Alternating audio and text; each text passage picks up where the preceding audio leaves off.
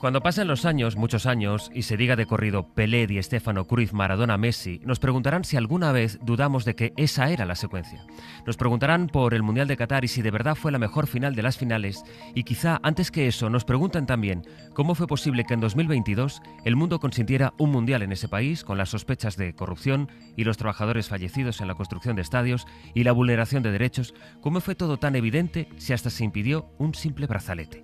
¿Cómo fue posible que sabiendo se ignorara? El fútbol, sin ser nada, a veces lo es todo o casi todo, se vio en Argentina, pero se celebró en muchas otras partes. Esto, por ejemplo, es Nápoles, que es Italia por geografía y es Argentina por fútbol. Tuvo que ser en Qatar donde vimos la mejor final. Ocurre pocas veces que uno tenga algo histórico ante sí y sea consciente de ello.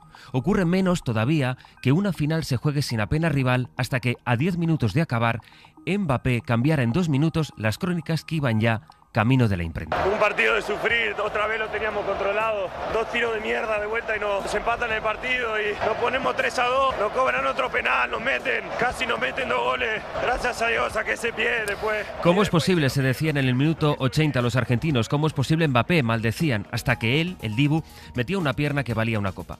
¿Cómo es posible? Lo, es lo que parecía decirse Mbappé mientras intentaba soltarse de los brazos de Manuel Macron, que quiso hacer del padre que ha ido al campo a animar a sus hijos y acaba saliendo en todas las fotos. Mbappé, en cambio, estaba a lo suyo tratando de averiguar cómo se puede perder un mundial después de haber metido cuatro goles.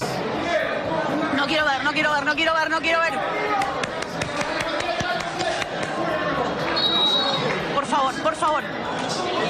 Mundial, mundial. Tuvo que ser la final entre Argentina y Francia como si fuera Rayuela, pero con un emir, con la túnica a punto para que la historia no olvide. ¿Cómo es posible, en fin, que ese jugador de 35 años, con un seleccionador de 44, esperase una final así como esta para su tango mejor?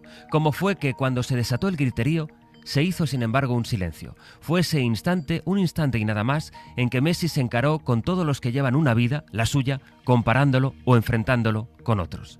Y ahí, sin decir, les dijo eso de ¿qué mirás? Andad para allá. Fue ahí cuando zanjó los debates y se percibió el silencio mientras los demás gritaban.